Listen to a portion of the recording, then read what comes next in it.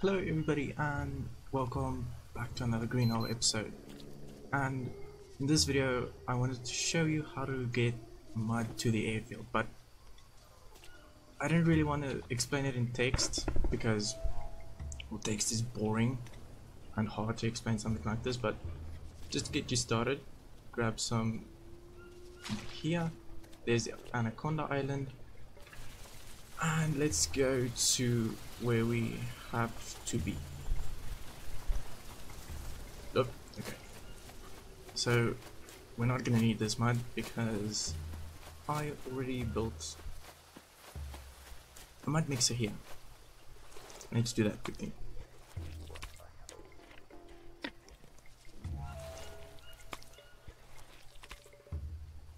Okay, so what you want to do here is get a logger holder. Place it anywhere in, as near as possible to this or as close as possible to this wall. Then you get a storage box. Okay. Get that done. So grab your mud bricks. And the reason for the storage box is if you drop them like this. See, the game just breaks. Don't do that. Okay. You got that done. Your bricks are there. Climb up the first rope.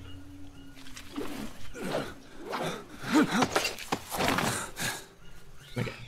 So now that you're on top, you can just use your inventory to grab the bricks. And yeah, that's just basically what you do. You pain is doing that a second time, and this one's a bit harder to place. Okay, got this one. Used to be able to place it here. I'm just doing it wrong, but whatever. Then you get this guy over here. Climb the rope again.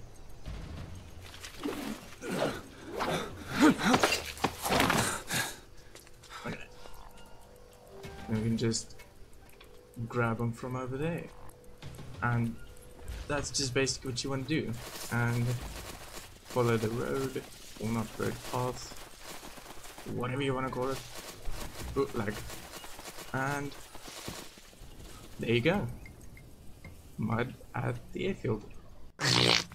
And yeah, this is a real pain. If you want to do this, I only recommend using it for like water filters and showers.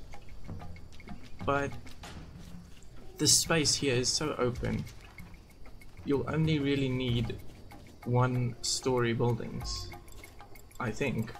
It's up to you, but I'd recommend building super high buildings. But yeah, that's gonna do it.